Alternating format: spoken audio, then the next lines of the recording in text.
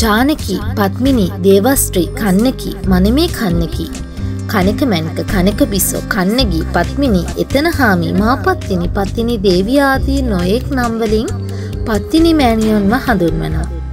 ඒ වගේම තමයි පාළඟපත්තිනි තෙදපත්තිනි ඔරුපාලි පත්තිනි ගිනිපත්තිනි අඹපත්තිනි සිරිපත්තිනි මල්පත්තිනි වශයෙන් පත්තිනි සත්කට්ටුවක් ගැන ඔයත් මමත් අපි හැමෝමත් අහලා තියෙනවා. ඉතින් සියලුම රෝගනිවාරණයට එවගේ අපේ ඕනෑම ප්‍රාර්ථනාවක් ඉතාමත් ඉක්මනින් ඉෂ්ට සිද්ධ කරගන්න පතිනිමෑණියන්ගේ ආශිර්වාදය ලබා ගන්න පුළුව. ඉතින් විශේෂයෙන්ම කියන්න ඕනේ දහවල් දොළහයි හයේ සිට දොළහයි තිස්හය දක්වා කාලය පත්තිනි මාතාවන් බැල්ම හෙළෙන කාලය ලෙස හඳුන්වනවා. ඉතින් එක නිසා දිවා වගේම රාත්‍රී දෙකටම පොදුව මේ කාලයේදී පත්තිනිමෑණියන්ට භාරහාරාදිය තබන්න තාමත් උචිත කාලයක් ලෙස සලකන්න පුළුවන්. ඉතින් මං අද ඔයාලට අරගෙනාවේ. පත්තිනි මෑණියන් උදෙසාම ලියවුණු කාව්‍යමය මාලාව. ඉතින් මේ කවි ඔබ ඉතාමත් භක්තියෙන් හා විශ්වාසයෙන් යුතුව ශ්‍රවණය කරන්න. ඔබේ සියලුම පැතුම් ඉෂ්ට සිද්ධ කර ගැනීමේ හැකියාව තියෙනවා. නමින් පසිඳු දඹදිව් තල පණ්ඩිපුර රජ කළ නිරිඳුට යොදුන් ගණන් අඹ උයනක් විය එහි මැද සැදුණු යසට. ඇසින් බලා බැරිනිම වන්රන් කඳ වෙයි ගසේ පාට.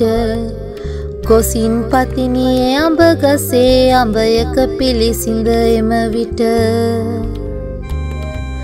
උයනේ වෙන පළගත් නඹ විලිකුන් වී වැටේ බිමට කොහෙන් බැලුවත් මේ සැටි අඹයක් නැත එහෙමරුවට වඩිනේ අඹයෙන් තෙද රැස් දිනිදුසේම උදාගිරට. එදිනේ ගොස් අඹේ ලකුණු දැන්විය මහරජතුමහට.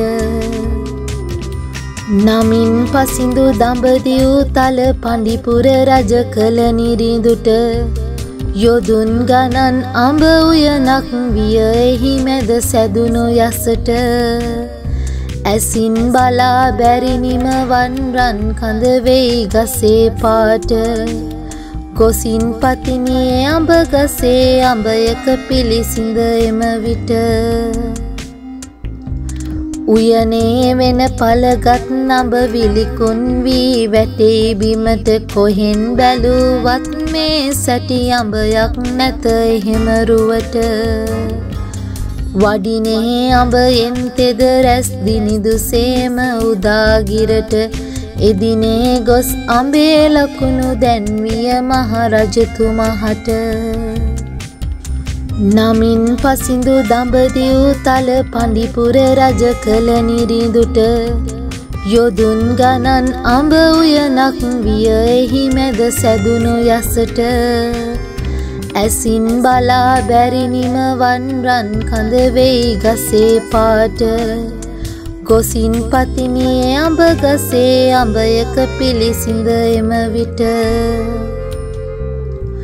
උයනේ වෙන පළගත් නඹ විලිකුන් වී වැටේ බිමට කොහෙන් බැලුවත් මේ සැටි අඹයක් නැත එහෙමරුවට වඩිනේ අඹයෙන් තෙද රැස් දිනිදුසේම උදාගිරට. එදිනේ ගොස් අඹේ ලකුණු දැන්විය මහරජතුමහට. නමින් පසිඳු දඹදිව් තල පණ්ඩිපුර රජ කළ නිරිඳුට යොදුන් ගණන් අඹ උයනක් විය එහි මැද සැදුණු යසට.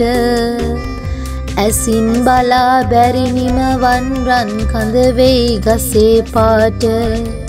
ගොසින් පතිනියේ අඹ ගසේ අඹයක පිළිසිඳ එම විට.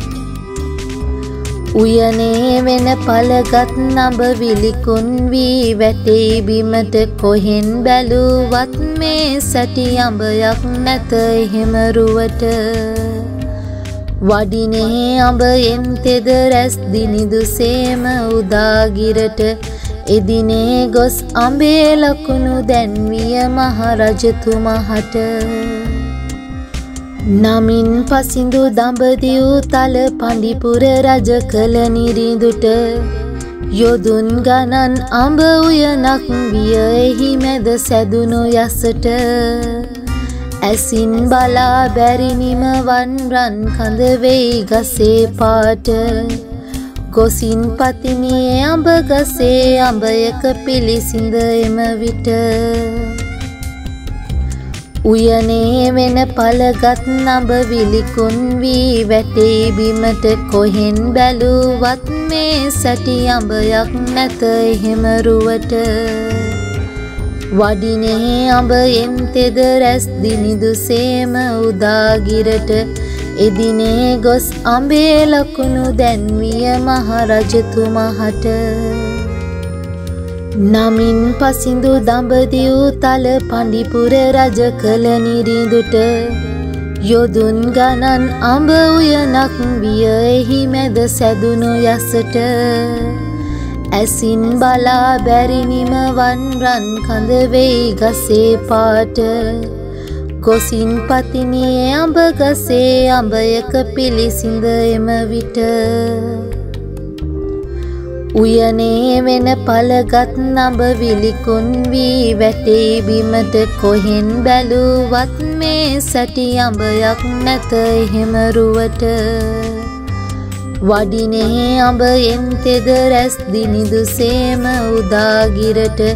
එදිනේ ගොස් අඹේ ලකුණු දැන්විය මහරජතුමහට. නමින් පසිඳු දඹදිව් තල පණ්ඩිපුර රජ කළ නිරිඳුට යොදුන් ගණන් අඹ උයනක් විය එහි මැද සැදුණු යසට. ඇසින් බලා බැරිනිම වන්රන් කඳ වෙයි ගසේ පාට. ගොසින් පතිනියේ අඹ ගසේ අඹයක පිළිසිඳ එම විට. උයනේ වෙන පළගත් නඹ විලිකුන් වී වැටේ බිමට කොහෙන් බැලුවත් මේ සැටි අඹයක් නැත එහෙම රුවට. වඩිනේ අඹයෙන් තෙද රැස් දිනිදුසේම උදාගිරට. එදිනේ ගොස් අඹේ ලකුණු දැන්විය මහරජතුමහට. නමින් පසිඳු දඹදිව් තල පණ්ඩිපුර රජ කළ නිරිඳුට යොදුන් ගණන් අඹ උයනක් විය එහි මැද සැදුණු යසට. ඇසින් බලා බැරිනිම වන්රන් කඳ වෙයි ගසේ පාට. ගොසින් පතිනියේ අඹ ගසේ අඹයක පිළිසිඳ එම විට. උයනේ වෙන පළගත් නඹ විලිකුන් වී වැටේ බිමට කොහෙන් බැලුවත් මේ සැටි අඹයක් නැත එහෙම රුවට. වඩිනේ අඹයෙන් තෙද රැස් දිනිදුසේම උදාගිරට. එදිනේ ගොස් අඹේ ලකුණු දැන්විය මහරජතුමහට.